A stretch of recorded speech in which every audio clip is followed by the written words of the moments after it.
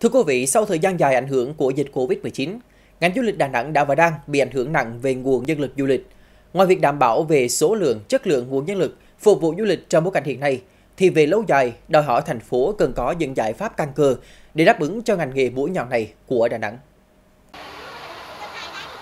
Một số doanh nghiệp trong ngành du lịch khách sạn cho biết, sau 2 năm ảnh hưởng Covid-19, nguồn nhân lực không còn đảm bảo như trước do nhân lực nghỉ việc chuyển ngành nghề. Chỉ còn một số ít nhân lực cũ và các đơn vị phải tuyển thêm các nhân sự mới, nên cơ bản đảm bảo phục vụ cho những ngày thường. Riêng các ngày lễ hoặc trong mùa du lịch cao điểm để phục vụ cho lượng lớn khách đổ về thành phố trong cùng một thời điểm, các đơn vị cũng đang triển khai nhiều giải pháp đảm bảo nguồn nhân lực. Thì chúng tôi sẽ cân nhắc trong cái việc là thuê một số thời vụ để hỗ trợ những cái công việc um, trực tiếp như là buồng phòng hay nhà hàng để các bạn sẽ đảm bảo được cái dịch vụ chất lượng dịch vụ cho khách hàng. Còn đối với nhân sự cơ bản của chúng tôi thì chúng tôi sẽ phục vụ tới năm công suất 50% chúng tôi vẫn đảm bảo ạ. Trong mùa du lịch thì hiện tại khách du lịch đã quay trở lại rất là nhiều và bên Mikazuki uh, chúng tôi luôn cố gắng để đáp ứng cơ bản về nguồn nhân lực À, đặc biệt vào những, những cái dịp cuối tuần thì tăng lượng à, gọi là nhân viên phục vụ.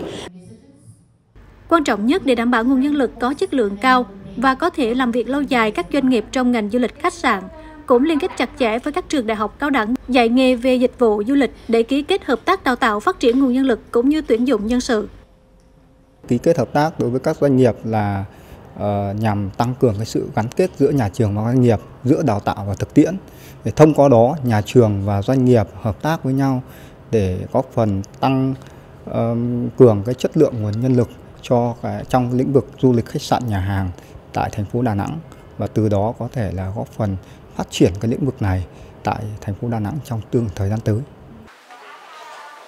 Theo Hiệp hội Khách sạn Việt Nam, do ảnh hưởng Covid-19 nên dẫn đến quá trình dịch chuyển nguồn nhân lực từ đầu năm 2020 đến nay, kéo theo số lượng nhân lực thiếu hụt, chất lượng giảm, ảnh hưởng lớn đến việc đáp ứng phục vụ cho hoạt động kinh doanh lưu trú nói riêng và du lịch Đà Nẵng nói chung. Vì vậy, khi thành phố mở cửa trở lại, Sở Du lịch đã phối hợp với các sở ban ngành, đơn vị liên quan, tập trung công tác tập huấn, đào tạo nâng cao chất lượng nguồn nhân lực du lịch.